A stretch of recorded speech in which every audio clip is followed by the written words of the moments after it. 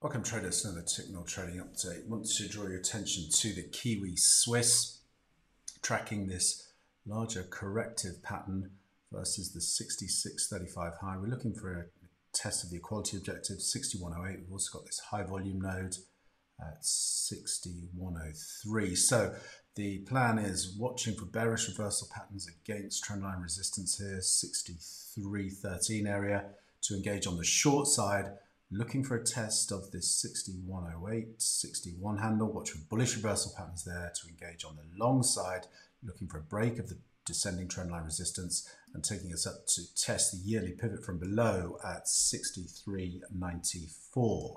As always, traders, plan the trade, trade the plan, and most importantly, manage your risk. Until next time, thanks very much.